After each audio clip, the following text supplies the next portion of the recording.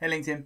One of the things that I want to raise at the moment, and to be honest, it's something that I actually need to address myself because, hey, I'm not perfect.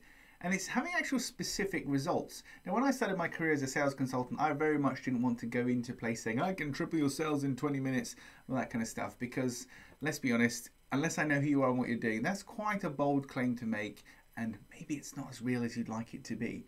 But there definitely is an argument for specific results saying, I can definitely help you put 10 to 20% on your bottom line over the next 12 months. I can definitely help you lose 5 to 15 pounds over the next six months, or whatever it happens to be.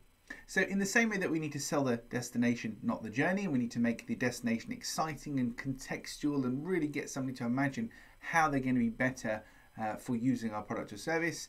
Today, I just want to make you think about numbers and specifics. What's the specific transformation? Now, we don't want to mislead people or guarantee things we can't guarantee, but could you give an approximate range, an approximate understanding of what you could do for your potential clients? Because as a buyer, it's much more attractive to see specific claims and specific results and also specific proof when you've got clients that have been through your process and can prove you can do what you do.